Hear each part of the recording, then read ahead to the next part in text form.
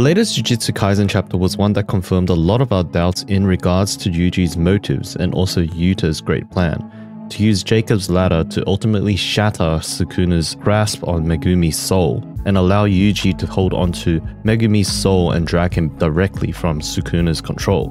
But was there more than just that in this chapter? Let's take a deep dive and talk about it.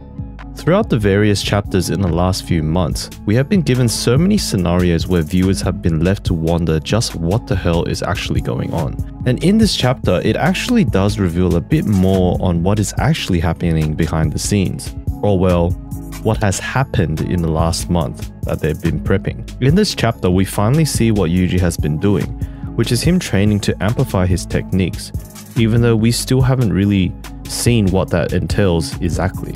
Nevertheless, what is peculiar is the explanation of the plan to separate Sukuna and Megumi from each other, as it gives a strong indication that Yuji himself seems to have greatly matured as we see him holding Tsukumo's diary while explaining away, which seems very uncharacteristic of Yuji. Yuji has always been depicted by Gege to be the simple-minded dummy idiot character, and if anyone has seen the season 1 of the anime, it is portrayed quite well in there too.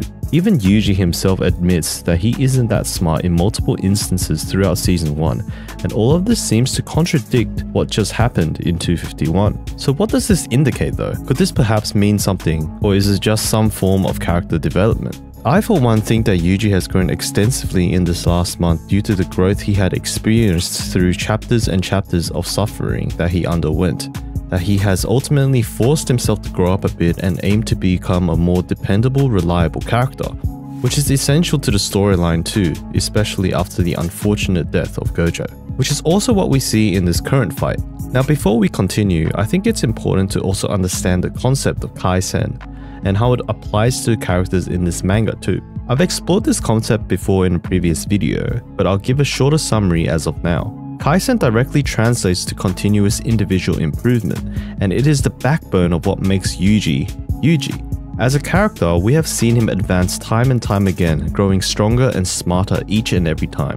Additionally, it is crucial to note this as well. Yuji is the only character in the series that was born without an innate curse technique, and is the only character that has to train to develop a curse technique. Everyone else's techniques have been granted to them from birth, whereas Yuji has been the only character to have needed to grind it out and learn and improve, which I don't think is some random coincidence. I think it's definitely part of a grand plan from Gege.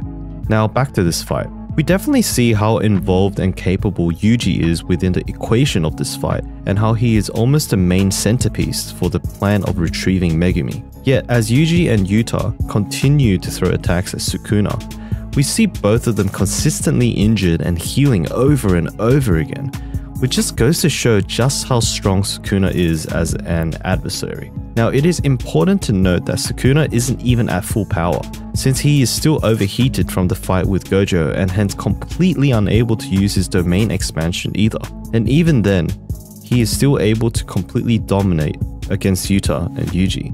Eventually, the fight comes to the point where they're able to fully employ Jacob's ladder and give Yuji the opportunity to touch Megumi's soul, only for it to all fall short, as Megumi has completely given up the will to continue to live, which allows Sukuna to break free from their control and unleash his slashes once again. And this chapter then ends with Maki entering the domain and stabbing Sukuna from the back, and this is where the chapter finishes. Now, I think there are several things to note upon finishing this chapter. First of all, there is incredible value in dissecting the essence of what Sukuna represents in this fight. As we all know, Yuji and Yuta are both vastly exceptional characters in their strengths and abilities, but their differences is what makes it interesting. Yuta and Yuji correlates with exceptional talent and exceptional willpower, respectively.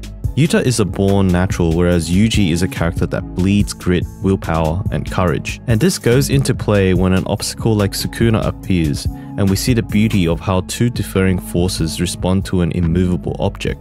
On the one hand, Yuji completely embodies resilience as he continues to charge at Sukuna, whilst on the other hand, Yuta resembles the confidence of raw talent as he drives all the techniques he has accumulated into Sukuna too. And I think Gege's motivation for building this chapter's fight like this was to truly demonstrate the power of human resolve, especially when it comes to a seemingly impossible task or goal. If we take a step back and examine our very own lives, we become aware of the fact that no matter how talented or untalented we are at anything, there will always be impossibilities in our lives that we have to attempt to overcome. Be it a death in the family, a transformation of the body, building a business, etc. All of these are obstacles that can be tackled in a similar manner, either Yuji's method of raw resilience and grit, or Yuta's method of confiding in what you are talented in and using that as a tool against those difficult goals. And I also think Maki has a role in this chapter in regards to all of this too. Maki can be seen as a middle ground between Yuta and Yuji,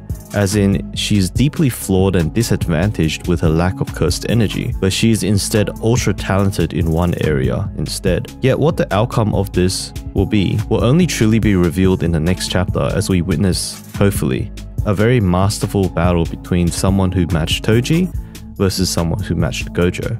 With all that being said, what do you guys think? Also, even though I've been talking about this chapter like someone who's written it, I also don't understand some things. What did Yuta mean by the finger? If someone or everyone could comment below to help me understand what the hell that panel meant, I'd deeply appreciate it. Please leave a like and subscribe for more content if you're interested, and I'll catch you guys on the next one. Love you all, and keep struggling, my friends.